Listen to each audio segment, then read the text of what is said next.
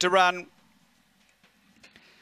And away. As speed here from Sweet Chloe down near the inside is going to push up. It's headed by Cosmic Ann early. They go together. Behind those next is Cheetah Bay and then came Maze out wider, railing through Kapow. Then Yarramundi Domino, Presence Please and Miss Zorro. They race toward the bend and it's Cosmic Ann, Cheetah Bay diving up on the inside. Then Kapow, it's the inside Cheetah Bay, Cosmic Ann, Kapow late.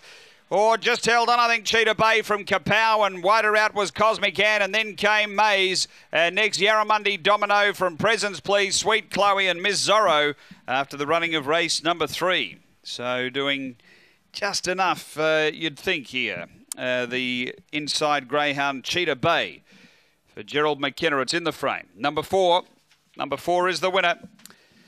Uh, Cheetah Bay Gerald McKenna for Carolyn McKenna by Billy the Sit out of Troublemaker Bay, uh, doing just enough. That's uh, second career win for Cheetah Bay. It's 4 1 second, 3 third, 7 fourth, 4 1 3 7. Number one, Kapow.